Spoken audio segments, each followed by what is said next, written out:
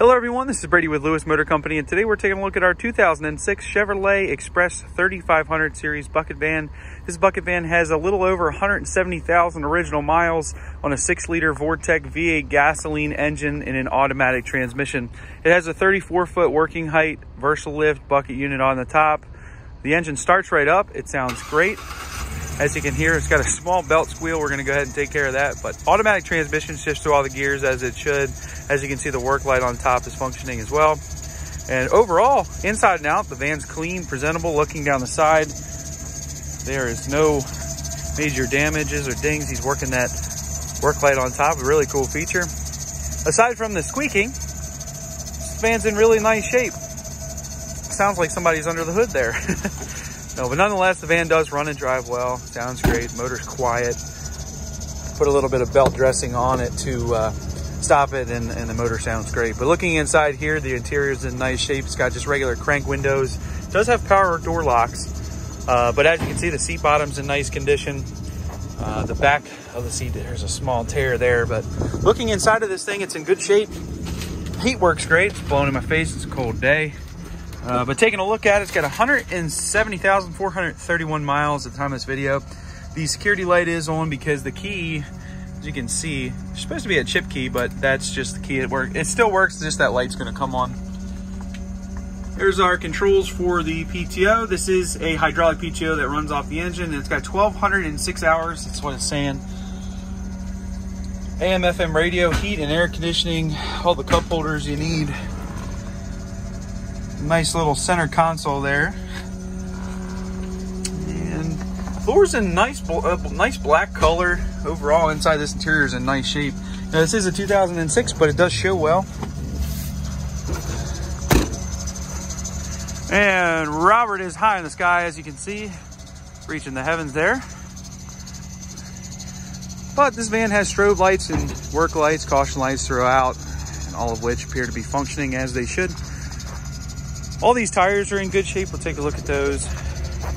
The frame and underside is in nice shape. It does have a little bit of rust bubbling on some of the, I think it's the other side, I'll show you. Um, but some of these body panels, these vans, again, this is an older van, but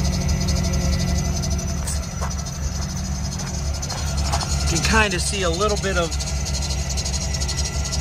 bubbling there. Not a super big problem, but we're very transparent here. Pretend like I'm buying these vehicles, but looking off the back here, we've got a rear platform, diamond plate on the top. It's been painted. This bumper is kind of holding on by a thread. Uh, the rear bumper cover, I mean, this this part, um, the platform is still very solid. But as you see, Robert is operating around, acting like he knows what he's doing. Uh, this is his, is it your second or third day? It's his first day, guys. He's doing pretty good. Um, but looking at this van, it's in great shape. Rear pl platform step.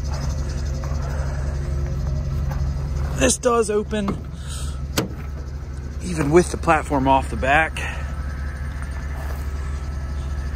Look at inside here, it's just got regular shelves inside. It's very clean, uh, but plenty of space if you were to remove these shelves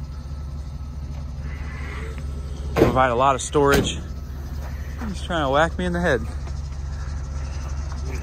The heater does work in this. It's, again, super cold day. You can see he's keeping his little footsies nice and cold or wet, or I'm um, sorry, warm. But looking at this thing, the boom all in good shape. A little bit of surface rust in some areas on the boom, but overall, uh, just a really nice operating van.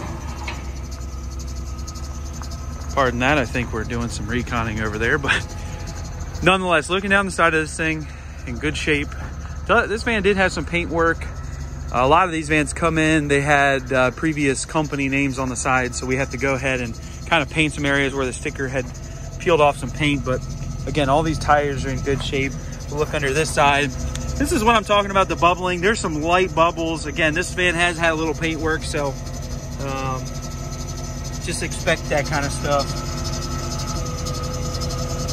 Well, looking underneath the frame and the meat and potatoes under there is in good shape, but as you can see, the boom functions 100%. This thing mechanically is in great shape.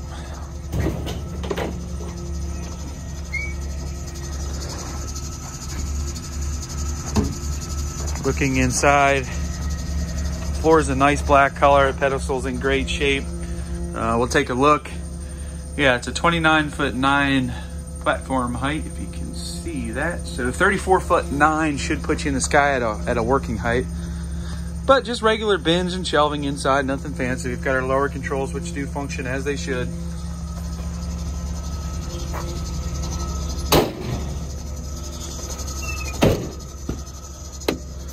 Again, this interior is in nice shape overall.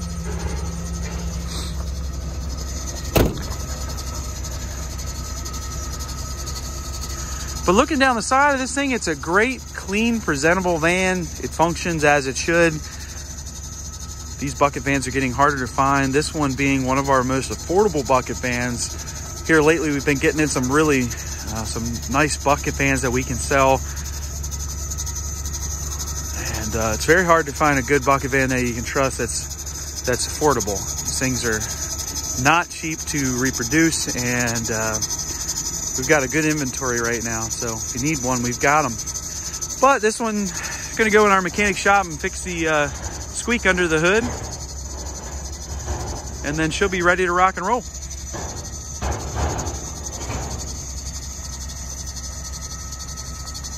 But you can check this van out and some others for sale on eBay. Feel free to give me a call, shoot me a message. I'd be happy to help you. We are Lewis Motor Company. We're located in Clarksville, Maryland.